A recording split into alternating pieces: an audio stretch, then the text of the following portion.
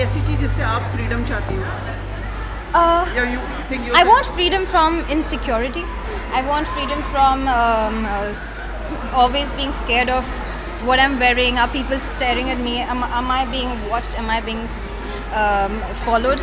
Uh, regardless at what time I'm getting out of my house, at what time I'm ste- uh, stepping out uh, wearing what. So, regardless of what I'm wearing, when I'm stepping out of my house, I want to make sure that I'm safe on the streets. This is something, and that's when I'll call it a total independence. Today, no matter how many years have been passed by um, that we've achieved independence, but are women really free is the question. And uh, what has happened in the recent past is um, it's really sad. It really saddens me to think that we are still living and surviving in such conditions, and it has to improve. And I think men and women together has to take an initiative. Uh, we have to take an initiative, uh, initiative to make sure that this doesn't happen. Every woman, every man, every child is safe on the streets of India. That will be complete freedom.